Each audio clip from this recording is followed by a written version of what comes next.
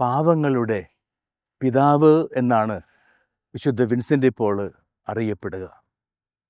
ദരിദ്രരോടും ദുഃഖിതരോടും പീഡിതരോടുമുള്ള സ്നേഹപൂർവകമായ പ്രതിബദ്ധത ക്രൈസ്തവ ആത്മീയതയുടെ അന്തസത്തയാണെന്ന് അദ്ദേഹം വിശ്വസിച്ചു അദ്ദേഹം പഠിപ്പിച്ചു അദ്ദേഹം പ്രയോഗത്തിൽ വരുത്തി കാണിച്ചു ഈ വിശ്വാസത്തിന്റെ അടിവേരുകൾ വിശുദ്ധ ഗ്രന്ഥത്തിലാണ് അന്ത്യവിധിയെക്കുറിച്ച് ഈശോ പറയുമ്പോൾ അവിടുന്ന് തന്റെ വലതുഭാഗത്തുള്ളവരോട് ഇങ്ങനെ അരുളി ചെയ്യും എന്ന് അവിടുന്ന് പറഞ്ഞു. നിങ്ങൾ ഈ ചെറിയവരിൽ ആർക്കെങ്കിലും ഒരാൾക്ക് ചെയ്തു കൊടുത്തപ്പോൾ എനിക്ക് തന്നെയാണ് നിങ്ങൾ ചെയ്ത് തന്നത്.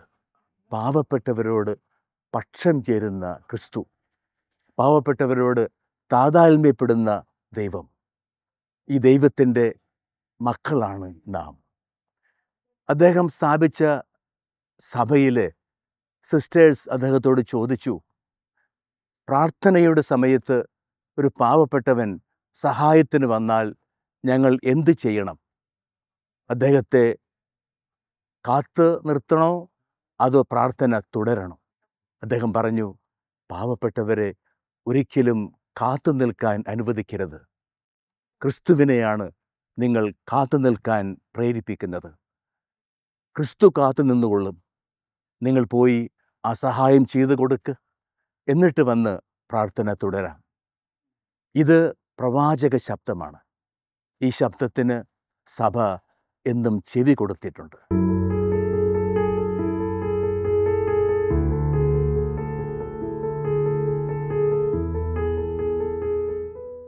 തിരുസഭയിൽ പരസ്നേഹപ്രവർത്തനങ്ങളുടെ സ്വർഗീയ മധ്യസ്ഥനായിട്ടാണ് വിശുദ്ധ വിൻസെന്റ് ഇപ്പോൾ അറിയപ്പെടുന്നത്. ആയിരത്തി അഞ്ഞൂറ്റി എൺപത്തി ഒന്നിലാണ് വിശുദ്ധൻ ജനിക്കുന്നത്. അദ്ദേഹം ജനിച്ചത് പോ എന്ന ഗ്രാമത്തിലാണ്. ഫ്രാൻസിന്റെ തെക്കേ അറ്റത്തുള്ള ഒരു ഗ്രാമം. സാധാരണക്കാരായ കൃഷിക്കാർ ആണ് ആ ഗ്രാമത്തിലുള്ളത്. അവിടെ ജീൻ ഡീപോളിന്റെയും ബെർട്രാൻഡിന്റെയും മകനായിട്ടാണ് വിശുദ്ധൻ ജനിക്കുന്നത്. ജീൻ ബെർട്രാൻഡ് ദമ്പതികൾക്ക് ആറ് മക്കളാണ്. അതിൽ മൂന്നാമനായിട്ട് വിൻസെന്റ് ജനിച്ചു. വിൻസെന്റിന് മറ്റ് മൂന്ന് സഹോദരങ്ങളും രണ്ട് സഹോദരിമാരുമാണ്. വളരെ സാധാരണമായ ഒരു കുടുംബം. കൃഷിക്കാരായ മാതാപിതാക്കൾ മറ്റു കുട്ടികളോടൊപ്പം ആടുകളെ വളർത്തി ആടുകളെ മേയ്ച്ച് നടക്കുമായിരുന്നു വിൻസെന്റ്. പതിനഞ്ചാമത്തെ വയസ്സിലാണ് അവനെ ഉപരി പഠനത്തിന് വേണ്ടി വിദ്യാഭ്യാസത്തിന് വേണ്ടി അയക്കാൻ മാതാപിതാക്കൾ തീരുമാനിക്കുന്നത്. അങ്ങനെ ഫ്രാൻസിസ്കൻ സന്യാസികൾ നടത്തുന്ന സെമിനാരിയിൽ അവൻ പ്രവേശിച്ചു. അവിടെ പഠനം തുടർന്നുകൊണ്ടിരുന്നു. വിൻസെന്റിന്റെ ജീവിതത്തിലും ദുരഭിമാനം എന്ന ഒരു കുറവുണ്ടായിരുന്നു.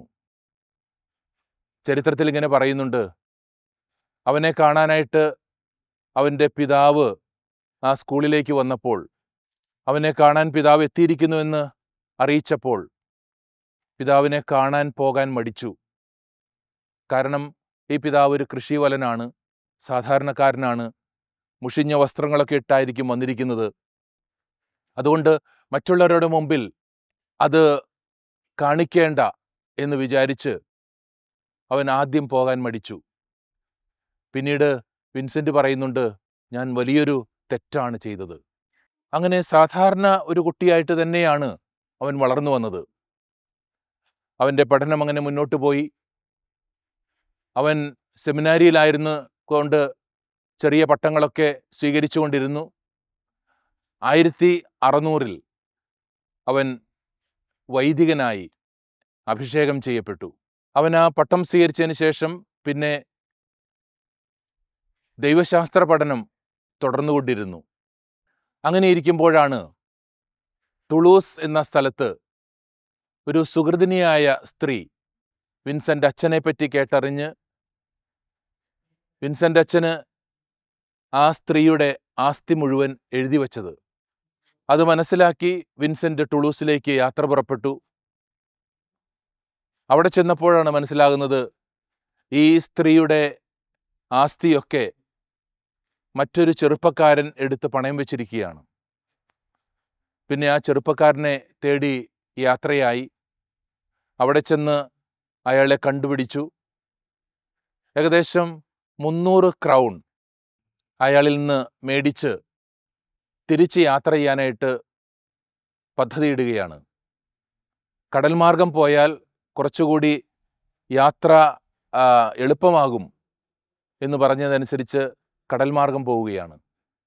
അപ്രതീക്ഷിതമായിട്ട് കടൽ കൊള്ളക്കാർ ഈ കപ്പൽ പിടിച്ചെടുക്കുന്നു. കപ്പലിന്റെ ക്യാപ്റ്റനെ കൊല്ലുന്നു. അതിലുണ്ടായിരുന്ന ജോലിക്കാരെയൊക്കെ ബന്ദികളാക്കുന്നു. അവരെ അടിമകളായിട്ട് അവർ സ്വീകരിക്കുകയാണ്. അങ്ങനെ അടിമകളാക്കി മാറ്റിയിട്ട് അവരെ വിൽക്കാനായിട്ട് കൊണ്ടുപോവുകയാണ്. വിൻസെന്റും അക്കൂട്ടത്തിലുണ്ട് വിൻസെന്റും ഒരു അടിമയായിട്ട് വിൽക്കപ്പെടുകയാണ്. വിൻസെന്റിനെ ആദ്യം മേടിക്കുന്നത് ഒരു മുക്കുവനാണ്.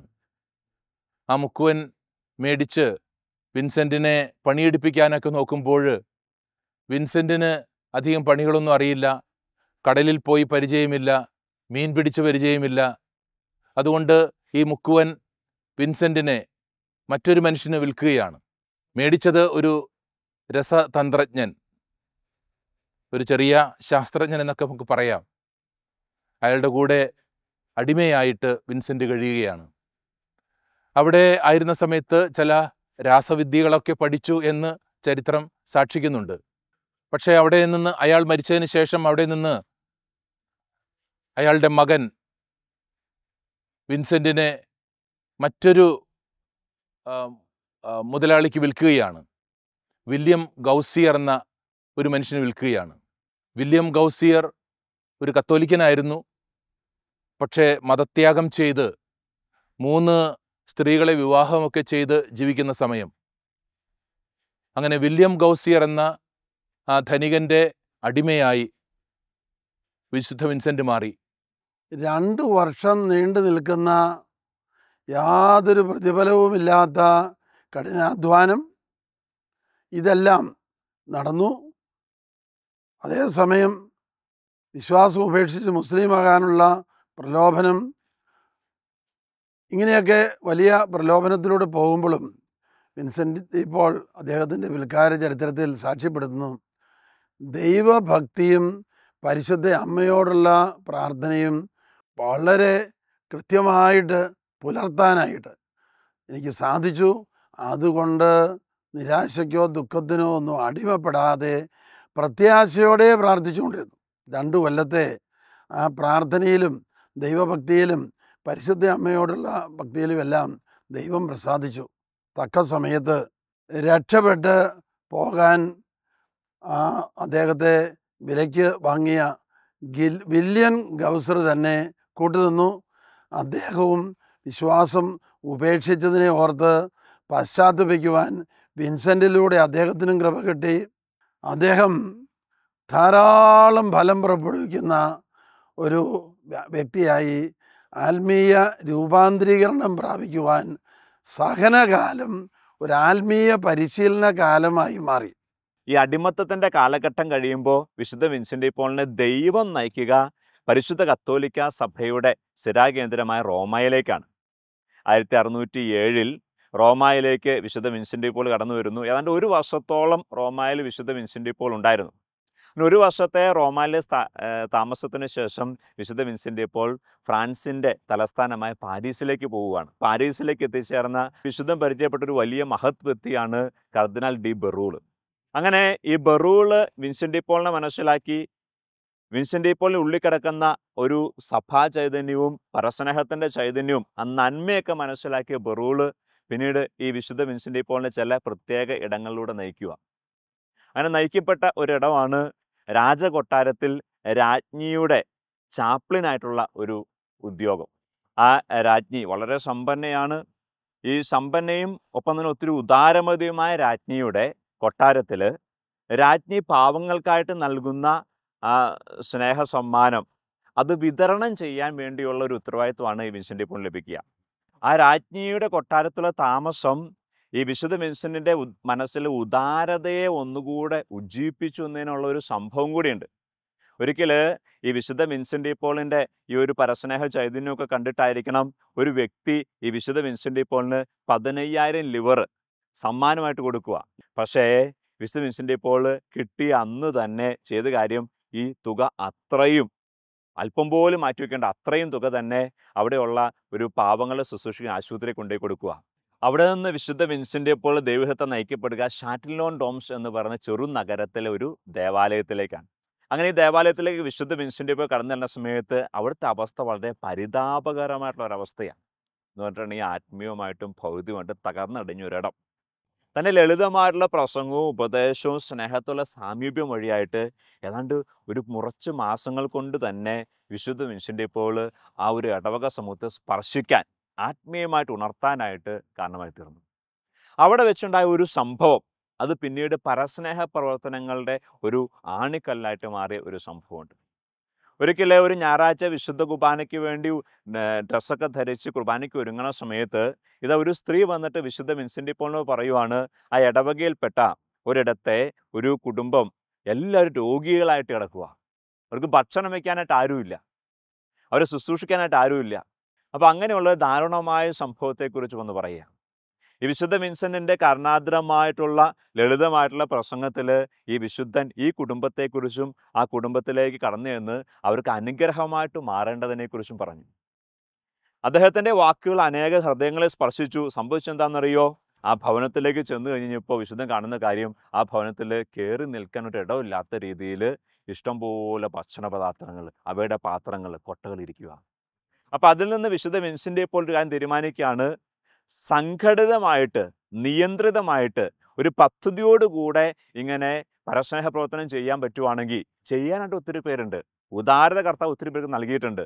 അത് നന്നായിട്ട് വിനിയോഗിക്കുകയാണെങ്കിൽ ഒത്തിരി കാര്യങ്ങൾ ചെയ്യാൻ പറ്റും. അങ്ങനെ സംഘടിതമായ ഒരു സേവന സന്നദ്ധ പദ്ധതി അദ്ദേഹം രൂപവത്കരിക്കുവാണ് അതിനുവേണ്ടി ഒരു ഗ്രൂപ്പ് ഒരു കൂട്ടായ്മ തന്നെ അദ്ദേഹം ഉണ്ടാക്കുകയാണ്. ആ കൂട്ടായ്മയുടെ പേരാണ് ഉപവി വനിതകൾ പ്രിയപ്പെട്ടവരെ പിന്നീട് ഫ്രാൻസിൽ തന്നെ ഒരു വലിയ ദൈവാനുഗ്രഹമായിട്ട് ലക്ഷങ്ങൾക്ക് അനുഗ്രഹമായിട്ട് മാറിയ ഒരു പരസ്നേഹ പ്രവർത്തനത്തിന്റെ ആരംഭമായിരുന്നു അന്ന് ഷാറ്റ്ലോൺ എന്ന ആ കൊച്ചടവകയിൽ സംഭവിച്ചത്. അടുത്തായിട്ട് കപ്പലടിമകളുടെ ഇടയിലേക്ക് വിശുദ്ധ വിൻസെന്റ് ഇപ്പോൾ ഇറങ്ങി പ്രവർത്തിക്കാൻ ആരംഭിക്കുക. അന്ന് കപ്പൽ ഓടിക്കാൻ വേണ്ടി കപ്പൽ മുന്നോട്ട് പോകണമെങ്കിൽ അതിനെ മുന്നോട്ട് കൊണ്ടുപോകാൻ വേണ്ടി കപ്പൽ തുഴയാനായിട്ട് കുറേ പേര് വേണം. ഈ ഗോണ്ടി പ്രഭുവിന്റെ കൊട്ടാരത്തിൽ ജീവിക്കുമ്പോൾ ഗോണ്ടി പ്രഭു ഈ കപ്പൽ അടിമകളുടെ ജനറൽ കൂടിയായിരുന്നു.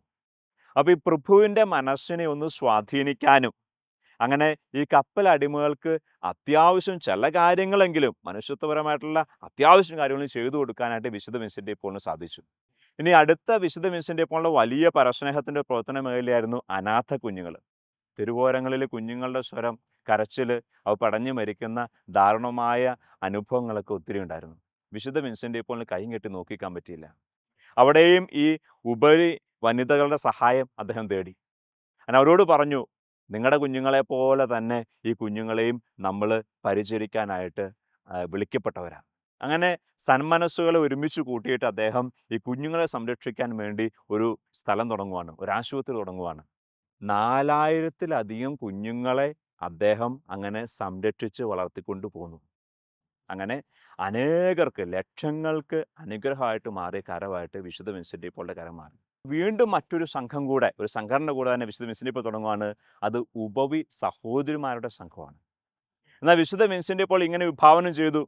പ്രാർത്ഥന വേണം വ്രതങ്ങൾ വേണം ദൈവത്തോട് ചേർന്ന് നിൽക്കണം. പക്ഷെ അത് മാത്രം പോരാ ദൈവത്തോട് ചേർന്ന് നിന്നുകൊണ്ട് ദൈവജനത്തിലേക്ക് ഇറങ്ങി പ്രവർത്തിക്കണം. അങ്ങനെ ദൈവജനത്തിലേക്ക് ഇറങ്ങി പ്രവർത്തിക്കാൻ വേണ്ടി ഇതാ ഒരു പുതിയ സമൂഹത്തെ വിശുദ്ധൻ രൂപപ്പെടുത്തുവാണ്. അതാണ് ഉപവി സഹോദരിമാരുടെ സംഘം. അങ്ങനെ ഈ ഉപവി സഹോദരിമാരിലൂടെയും ഉപവി വനിതകളിലൂടെയൊക്കെയാണ് വിശുദ്ധൻ ഇത്രത്തോളം പരസ്നേഹത്തിന്റെ പ്രവർത്തനങ്ങൾ ചെയ്തു കൂട്ടിയത് വിശുദ്ധ വിൻസെന്റ് ഇപ്പോൾ ഉപവി പ്രവർത്തനങ്ങളിലൂടെയും കാരുണ്യ പ്രവർത്തനങ്ങളിലൂടെയും വളരെ പ്രത്യേകിച്ച് അടിമകൾക്ക് വേണ്ടിയിട്ട് പ്രവർത്തിക്കുകയും അവരുടെ പുനരുദ്ധാനത്തിനൊക്കെ വേണ്ടി ഒരുപാട് സഹായ സഹകരണങ്ങൾ ചെയ്ത് മുന്നോട്ട് പോകുമ്പോൾ ഗോണ്ടി പ്രഭുവിന്റെ ഒരു വലിയ ആഗ്രഹമായിരുന്നു വിൻസെന്റിനോടൊപ്പം ചേർന്ന് നിന്നുകൊണ്ട് പാരീസിൽ താമസിക്കുന്ന പുരോഹിതർക്ക് ഒരു വലിയ പുനരുദ്ധാരണം നടത്തുക എന്നുള്ളത്. അങ്ങനെ ആയിരത്തി അറുന്നൂറ്റി ഇരുപത്തി അഞ്ചിൽ ഫ്രാൻസിലെ പാരീസിൽ കോൺഗ്രിഗേഷൻ ഓഫ് ദ മിഷൻ എന്ന സന്യാസ സഭ സ്ഥാപിക്കുവാനായി വിശുദ്ധ വിൻസെന്റ് പോളിന് സാധിച്ചു. അതിന്റെ പ്രത്യേകമായ ലക്ഷ്യമെന്ന് പറയുന്നത് ഗ്രാമപ്രദേശങ്ങൾ തോറും പുരോഹിതരെ ചുറ്റി സഞ്ചരിച്ച് മിഷൻ ധ്യാനങ്ങൾ നടത്തുക പരസ്നേഹ പ്രവർത്തനങ്ങൾ ചെയ്യുക ആത്മീയമായി പിന്നോക്കം നിൽക്കുന്നവർക്ക് നല്ല നല്ല ഉപദേശങ്ങൾ പറഞ്ഞു കൊടുത്ത് അവരുടെ ആത്മീയ ഉന്നമനങ്ങൾ നടത്തുക. ഒപ്പം ആ കാലഘട്ടത്തിലെ പുരോഹിതരുടെ ഒരു പുനരുദ്ധാരണം അത് വളരെ ആവശ്യമായി വിശുദ്ധ വിൻസെന്റ് പോളിന് തോന്നിയിരുന്നു. അങ്ങനെ ഈ കോൺഗ്രിഗേഷൻ ഓഫ് ദ മിഷന്റെ പ്രവർത്തനങ്ങൾ ഒത്തിരിയേറെ മുന്നോട്ട് പോയിക്കൊണ്ടിരിക്കുമ്പോൾ ആയിരത്തി അറുന്നൂറ്റി മുപ്പത്തി മൂന്നിൽ വിശുദ്ധ വിൻസെന്റ് പോൾ ചൊവ്വാഴ്ച സമ്മേളനങ്ങൾ ആരംഭിച്ചു. ഒരു വൈദികർക്ക് വേണ്ടിയിട്ട് ഒരു വൈദിക സമിതിയാണ് അദ്ദേഹം ആരംഭിച്ചത്. ഈ വൈദിക സമിതിയിൽ കോൺഗ്രിഗേഷൻ ഓഫ് ദ മിഷനിലുള്ള അംഗങ്ങളും അതോടൊപ്പം തന്നെ പാരീസിൽ നിന്നുള്ള ഒത്തിരിയേറെ ഇടവക വൈദികരൊക്കെ ഇതിൽ പങ്കെടുത്തിരുന്നു. പതുക്കെ പതുക്കെ ഈ സമിതിയിലേക്ക് പാരീസിൽ നിന്നും അനേകം പുരോഹിതർ കടന്നു വന്നു സന്യാസ സഭയിലെ ശ്രേഷ്ഠന്മാർ കടന്നു വന്നു വികാരി ജനറാൾമാർ കടന്നു വന്നു ബിഷപ്പ്മാർ കടന്നു വന്നു ഇവരൊക്കെ ഒത്തിരിയേറെ താല്പര്യത്തോടു കൂടിയാണ് വിശുദ്ധന്റെ പ്രബോധനങ്ങൾ കേൾക്കുവാൻ വേണ്ടി പരസ്പരം ആശയങ്ങൾ പങ്കുവയ്ക്കുവാൻ വേണ്ടി ഈ സമ്മേളനത്തിലേക്ക് കടന്നു വന്നത്. അത് വലിയൊരു വിജയമായി മാറുകയും ചെയ്തു. വിൻസെന്റിന്റെ ഒരു ലക്ഷ്യമെന്ന് പറയുന്നത് കോൺഗ്രിഗേഷൻ ഓഫ് ദ മിഷനിലെ അംഗങ്ങളും അതോടൊപ്പം തന്നെ ഈ ചൊവ്വാഴ്ച സമ്മേളനത്തിൽ പങ്കെടുക്കുന്ന പുരോഹിതരും സംയുക്തമായി ചേർന്ന് മിഷൻ ധ്യാനങ്ങൾ നടത്തുക ആ ദേശത്തുകൂടി ചുറ്റി സഞ്ചരിച്ച് പരസ്നേഹ പ്രവർത്തനങ്ങൾ നടത്തുക എന്നുള്ളതായിരുന്നു. പ്രിയപ്പെട്ടവരെ ഈ മെഷീൻ ധ്യാനത്തിന് ഒത്തിരിയേറെ പ്രത്യേകതകൾ ഉണ്ടായിരുന്നു അന്ന് വരെ അവിടെ ഇല്ലാതിരുന്ന ഒരു വലിയ കാര്യമാണ് ഈ വിശുദ്ധൻ ആരംഭിച്ചത്. വില്ലേജുകൾ തോറും കേന്ദ്രീകരിച്ചുകൊണ്ടുള്ള ധ്യാനങ്ങളായിരുന്നു അത്. അവിടെ പോയി താമസിക്കുകയും അവിടെയുള്ള ജനത്തിന് ദൈവത്തെക്കുറിച്ചും പറഞ്ഞു കൊടുത്ത് അതിനോടൊപ്പം തന്നെ കൂതാശകളുടെ പ്രാധാന്യം കുംഭസാരം എന്ന കൂതാശയുടെ പ്രാധാന്യത്തെക്കുറിച്ച് വളരെ കൃത്യമായി പഠിപ്പിച്ച് ദൈവത്തിന്റെ കാരുണ്യം തിരിച്ചറിയുക എന്നുള്ള വലിയൊരു കാര്യമാണ് ഈ ധ്യാനത്തിന്റെ ഒരു പ്രത്യേകത എന്ന് പറയുന്നത്. അതോടൊപ്പം തന്നെ മറ്റൊരു വലിയ പ്രത്യേകതയായിരുന്നു ധ്യാനങ്ങൾ നടത്തുന്ന രീതികൾ ധ്യാനങ്ങൾ നടത്തുന്ന വിഭാഗക്കാർ ഡീക്കന്മാർക്ക് സെമിനാരിക്കാർക്ക് അങ്ങനെ പുരോഹിതർക്ക് ധ്യാനങ്ങൾ നടത്തുന്ന ഒരു വലിയ പ്രത്യേകത ആ കാലഘട്ടത്തിൽ വിശുദ്ധനാണ് ആരംഭിച്ചത്. കാരണം അന്ന് വരെ പുരോഹിതർക്ക് വേണ്ടി പ്രത്യേകമായിട്ട് ഒരു ധ്യാനം ഉണ്ടായിരുന്നില്ല. എന്നാൽ വിശുദ്ധൻ ഇത് ആരംഭിച്ചു. പുരോഹിതരുടെ ജീവിതത്തിൽ അത് വലിയൊരു നവീകരണത്തിന് ഇടവന്നു. ആ ദേശത്തുള്ള വില്ലേജുകളിൽ താമസിക്കുന്ന ആളുകളിൽ വലിയൊരു മാറ്റമുണ്ടായി. വില്ലേജുകളിൽ മാത്രമല്ല പട്ടണ പ്രദേശങ്ങളിലേക്കും ഈ ധ്യാനങ്ങൾ പോപ്പുലർ മിഷൻ ധ്യാനങ്ങൾ വ്യാപരിച്ചപ്പോഴും ശൈലി ഒന്നും മാറ്റേണ്ട. ഈ വില്ലേജുകളിൽ നടത്തുന്ന അതേ ശൈലിയിൽ തന്നെ ധ്യാനിപ്പിച്ചാൽ മതി എന്ന ഒരു കാര്യം മാത്രമാണ് മറ്റംഗങ്ങൾക്കും വിശുദ്ധൻ പറഞ്ഞു കൊടുത്തത്. അതെല്ലാം വളർന്ന് പന്തലിച്ച് വലിയൊരു അഭിഷേകമായി ആ കാലഘട്ടത്തിൽ മാറി എന്നുള്ളതാണ്. ജനങ്ങളിൽ ഒത്തിരിയേറെ മാറ്റങ്ങൾ സംഭവിച്ച് ആ കാലഘട്ടത്തിന്റെ വലിയൊരു വ്യക്താവായി മാറുവാനായിട്ട് വിശുദ്ധന് സാധിച്ചു എന്നുള്ളതിൽ യാതൊരു സംശയവുമില്ല. അത് വളർന്നു പന്തലിക്കുക തന്നെയാണ് ഉണ്ടായത്. അങ്ങനെ കോൺഗ്രിഗേഷൻ ഓഫ് ദ മിഷൻ ഒത്തിരിയേറെ വളർന്നു പന്തലിച്ച് ചൊവ്വാഴ്ച സമ്മേളനങ്ങളിലൂടെ ഒത്തിരിയേറെ അനുഗ്രഹങ്ങൾ അനേകർക്ക് കിട്ടി. അത് വലിയൊരു കാര്യമായി വിശുദ്ധന്റെ ജീവിതത്തിൽ നിന്നും നമുക്ക് എടുത്തു പറയാൻ പറ്റുന്ന ഒന്നാണ്. സ്വർഗീയ മധ്യസ്ഥനായ വിശുദ്ധ വിൻസെന്റ് പോളിന്റെ ജീവിതത്തിൽ വ്യത്യസ്തമായ കാലഘട്ടത്തിലൂടെ നമ്മൾ കടന്നു പോവുകയായിരുന്നു. വിൻസെന്റ് ഇപ്പോളിന്റെ ജീവിതത്തെ മുഴുവൻ നമുക്ക് രണ്ട് വശങ്ങളിലൂടെ ഇതിനെ കൺക്ലൂഡ് ചെയ്യാം. ഒന്നാമത്തത് ദൈവസ്നേഹത്തിൽ അധിഷ്ഠിതമായ പരസ്നേഹ ശുശ്രൂഷയുടെ ആൾ രൂപമായിരുന്നു വിശുദ്ധ വിൻസെന്റ് ഇപ്പോൾ അതിന്റെ മറുവശം ലോകത്തിന്റെതായ വെല്ലുവിളികളെ സുഹൃതങ്ങൾ കൊണ്ട് എങ്ങനെയാണ് നേരിട്ട് വിജയിക്കേണ്ടതെന്ന് ദൈവീകമായ കാഴ്ചപ്പാടിലൂടെ കണ്ട് ജീവിച്ച വ്യക്തിയാണ് വിശുദ്ധ വിൻസെന്റ് ഇപ്പോൾ പാവപ്പെട്ടവരിൽ യേശുവിന്റെ മുഖം കാണുന്ന ആ ഒരു ദൈവീക ചൈതന്യം വിശുദ്ധ വിൻസെന്റ് പോളിൽ നിറഞ്ഞു നിന്നതുപോലെ നമ്മൾ ഓരോരുത്തരും ദരിദ്രരെ പാവപ്പെട്ടവരെ വേദന അനുഭവിക്കുന്നവരെ അവരിൽ യേശുവിന്റെ മുഖം കണ്ട് അവരെ ചേർത്ത് പിടിക്കാനായിട്ട് സാധിക്കുമ്പോഴാണ് നമ്മളിൽ യഥാർത്ഥമായിട്ടുള്ള ദൈവസ്നേഹത്തിന്റെ നിറമുണ്ടാകുന്നത് എന്ന് വിശുദ്ധ വിൻസെന്റ് വിൻസെന്റ് ഇപ്പോൾ പറയുകയും അത് പാലിക്കുകയും ചെയ്തു. വിശുദ്ധ വിൻസെന്റ് ഇപ്പോളിന്റെ ജീവിതത്തെ നമുക്ക് പൂർണമായും സ്വീകരിക്കുകയും കാണുകയും കൊടുക്കുകയും ചെയ്യാം. അതിനാൽ ദൈവസ്നേഹത്തിൽ അധിഷ്ഠിതമായ പരസ്നേഹ ശുശ്രൂഷ ലോകത്തിന്റെ വെല്ലുവിളികളെ സുഹൃതം കൊണ്ട് നേരിടുന്ന ആ മനോഭാവം. ഇത് നമ്മളിൽ എന്നും ഉണ്ടാകട്ടെ. ഇങ്ങനെ വിൻസെന്റ് ഇപ്പോൾ ജീവിതത്തിൽ പാലിച്ചതും തന്റെ അനുയായികളോട് പ്രാവർത്തികമാക്കണമെന്ന് പറഞ്ഞതുമായ കാര്യങ്ങളെ നമ്മുടെ ജീവിതത്തിൽ സ്വീകരിച്ച് വിശുദ്ധ വിൻസെന്റ് ഇപ്പോളിന്റെ ചൈതന്യം നമ്മുടെ ജീവിത പ്രവർത്തന മേഖലകളിലെല്ലാം കൂടുതലായിട്ട് ഉണ്ടാകുന്നതിന് വേണ്ടി വിശുദ്ധ വിൻസെന്റ് ഇപ്പോളിന്റെ മധ്യസ്ഥം നമുക്ക് പ്രാർത്ഥിക്കാം. വിശുദ്ധ വിൻസെന്റ് ഇപ്പോളിന്റെ തിരുനാൾ മംഗളങ്ങൾ എല്ലാവർക്കും ആശംസിക്കുകയാണ്. വിശുദ്ധ വിൻസെന്റിനെ പോലെ നമ്മുടെ പ്രവർത്തന മേഖലകളിൽ പരസ്നേഹ ശുശ്രൂഷയ്ക്ക് കൂടുതൽ പ്രാധാന്യവും കൂടുതൽ ശ്രദ്ധയും നമുക്ക് കൊടുക്കാം. കർത്താവ് നമ്മളെല്ലാവരെയും അനുഗ്രഹിക്കട്ടെ. ആമേൻ.